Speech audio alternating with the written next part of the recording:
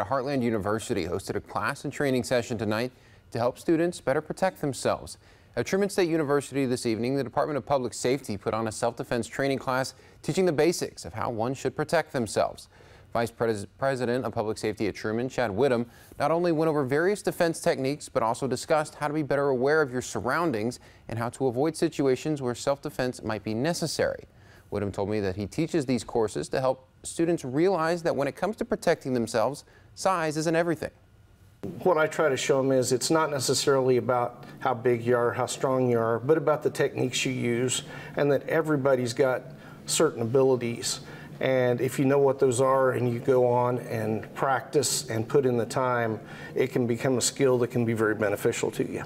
Whittam said that these basic self-defense skills are extremely valuable to more than just college students.